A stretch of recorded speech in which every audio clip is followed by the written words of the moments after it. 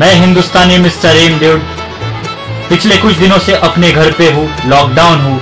नरेंद्र मोदी जी की बातों का और हमारे मुख्यमंत्री जी की बातों का पालन कर रहा हूँ। और आप भी उनकी बातों का पालन कीजिए।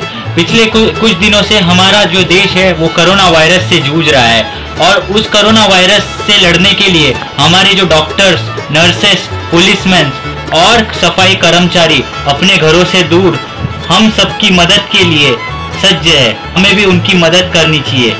ज़रूरत की चीज़ें लाने के लिए ही घर से बाहर निकलना चाहिए। जब भी हम घर से बाहर निकलते हैं उस वक्त अपने चेहरे पे मास्क लगाइए, अपने हाथों को सैनिटाइज कीजिए और सोशल डिस्टेंसिंग का पालन कीजिए।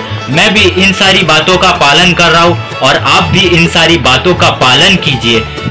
इससे हमारा जो कोरोना वायरस का संक्रमण है, उससे हम बच सकते हैं। विटामिन सी जितना हो सके आप लीजिए। विटामिन सी आपको ऑरेंजेस, पाइनएप्पल, नींबू, एवोकाडो से मिल सकता है। और गोल्डन मिल्क, वो आप खाइए। जितने हो सके आप गर्म पानी पीजिए। गर्म पानी में नमक डाल के गरारे कीजिए। उससे आपको कोरोना वायरस होने के चांसेस बहुत कम हो जाएँगे। तो ये सारी चीज़ें आप भी करिए, मैं भी कर रहा हूँ।